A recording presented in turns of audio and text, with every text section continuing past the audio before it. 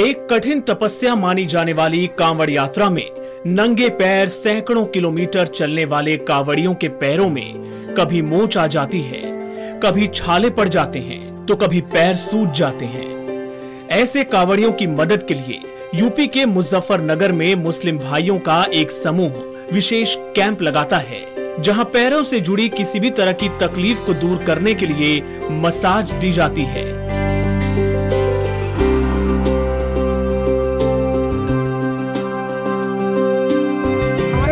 पूर्वजों से ही मुस्कोड़ निकालने का और हड्डी जोड़ तोड़ का काम है पूर्वजों से। तो तुम बोलो किस तरह की सेवा कर रहे हो पूरी सेवा करते हैं तीस साल से और इसी तरह से सेवा करते रहेंगे क्योंकि भोले श्रद्धा हमारी जुड़ी हुई है इनसे।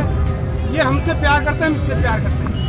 हम हिंदू मुस्लिम को एकता का पैगाम देना चाहते हैं कि हम एक ही हैं और एक ही रहेंगे। हाल के दिनों में कावड़ियों से जुड़े कुछ विवाद ज़रूर सामने आए हैं।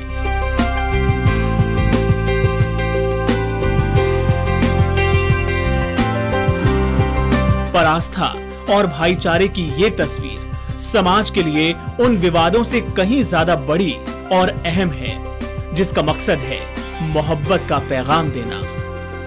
एनबीटी ऑनलाइन की रिपोर्ट।